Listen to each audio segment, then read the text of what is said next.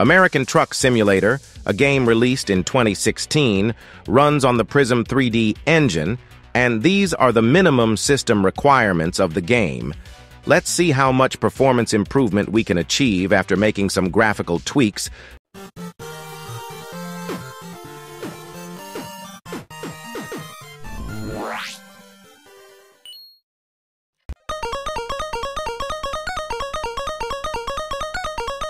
The configuration file of this game is located in your Documents folder, American Truck Simulator, and the file called config.cfg.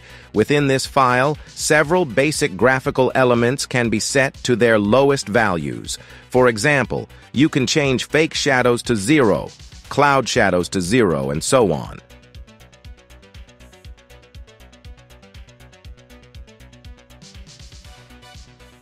By adjusting these settings, players can tailor their graphical experience to their hardware capabilities, ensuring smoother gameplay while understanding the potential trade-offs in visual quality.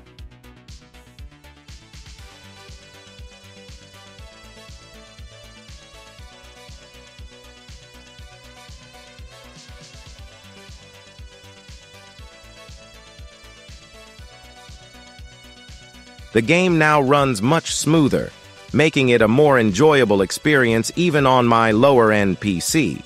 It's amazing how these small changes can make such a big difference. So if you're in a similar situation, give these tweaks a try and let me know how they work for you. By the way, don't go anywhere because I have more to show you. Inside in the config file, these two variables control the level of detail LOD settings for vehicles and parked vehicles. With a default value of 1.0, vehicles render at a greater distance, while a value of 0.1 causes them to render at a closer distance. Customizing the LOD settings for vehicles and parked vehicles is particularly beneficial for low-end PCs. When these settings are adjusted to a lower value, such as 0.1, vehicles render at a closer distance, this means that your system doesn't have to work as hard to display highly detailed vehicle models in the distance, reducing the graphical load and improving overall performance. With lower LOD settings, your game becomes more optimized for lower-end hardware, allowing for smoother gameplay even on computers with limited graphical capabilities. You also have the option to completely disable pedestrians LOD by setting this variable to zero, zero.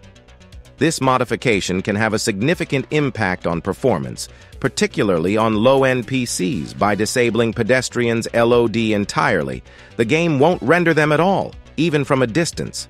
This results in a substantial reduction in the strain on your computer's resources, leading to significantly improved frame rates and an overall more optimized gaming experience, making it an excellent adjustment for those with less powerful hardware.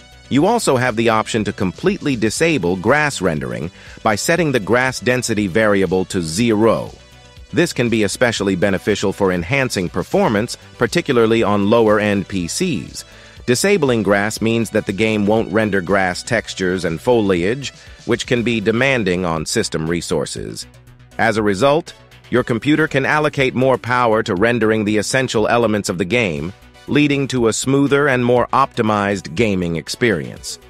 This adjustment is ideal for those seeking a performance boost while still maintaining a playable and enjoyable game environment, even on hardware with limited capabilities.